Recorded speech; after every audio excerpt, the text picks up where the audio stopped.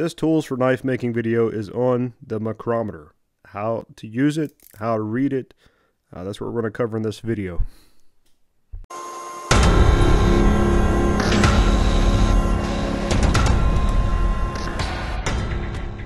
So very quickly, this is a micrometer. This is a precision measuring tool uh, to measure wear on parts. Mechanics and machinists often use these things because they are accurate to ten thousandths of an inch. Very quickly about this tool. Um, this is your handle. I typically hold mine like this. This is your anvil. This is your spindle. This little knob here locks it down so that you can't lose your um, settings. This part here, this whole part that's turning, that's called the thimble. And this part here with the numbers, the graduations on it, that's your sleeve. This little dude back here, this is a clutch uh, called the ratchet stop. This is how you get repeatable feel every time that you measure. So this handle here has been threaded at uh, 40 threads per inch, just like this number 4 by 40 um, screw.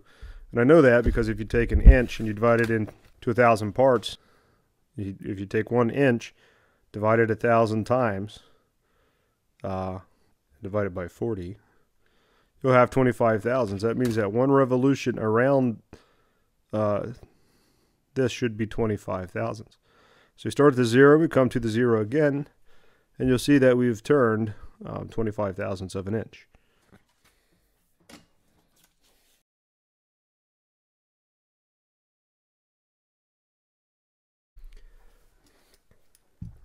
So every time we turn the thimble all the way from zero to zero, that's another 25 thousandths. And you can see that here on the sleeve, um, revealing these marks. These marks are 25 thousandths. So here, these are 25 thousandths. Is 25, 50, 75, 100, and 25 thousandths. You always want to read this sleeve first. So you always want to read these numbers first. These are 25 thousandths. It's 25 thousandths, 50 thousandths, 75 thousandths, 100 thousandths, 125, 150. You always read these 25 thousandths increments on the sleeve first. And then you add to that what you have on the thimble. On the thimble, these are one thousandths and a half.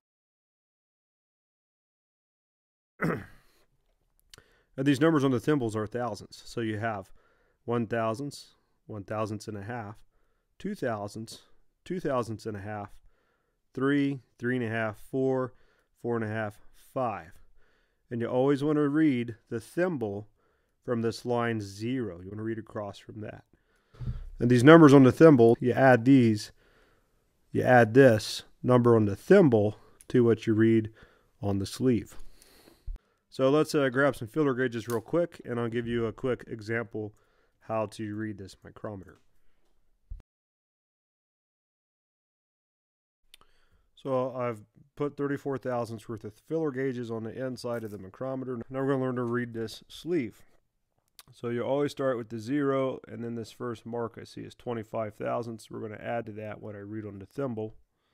Uh, already I can see 5, so 5 on the 25 would be 30, 31, 32, 33 and a half. And then we have to come up here to the 10 thousandths. The 3 lines up, that's 8. So that's 33 and 8 10 thousandths. This feeler gauge is actually 2 10 thousandths under 34 thousandths. All right. Just for example, just so we can learn to read, we'll uh, mic my scribe here.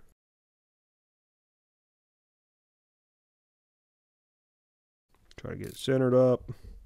Use your little clutch stop to get the, uh, I'm sorry, the ratchet stop. And let's see now what this thing is. So again, the first thing we're going to read is uh, we're going to read this sleeve. I can see a hundred thousandths, two hundred thousandths, three hundred thousandths. I do not see the next twenty-five marks. We're going to say this is three hundred thousandths and read on the thimble. It looks like the 15 lines up perfectly. So in this case, it'll read 315 thousandths. So you always read these numbers first. Then from this zero line, you read what you have on the thimble and you add the thimble to that. Remember that these are half thousandths. This is five ten thousandths. And then up here, you would add these numbers here to your half. Remember to always read the sleeve and the thimble and add it up to get your measurement. Don't rely on your dial indicator. And uh, again, just to recap, you read the sleeve first. These are 25 thousandths, 50, 75, 125. You add to, to your sleeve measurement what you read on the thimble, reading from the line zero. There you go. I hope that helps you make better knives. Please subscribe, tune in. New videos come out every Wednesday uh, knife related or shop related or just something to that effect. Thanks for watching.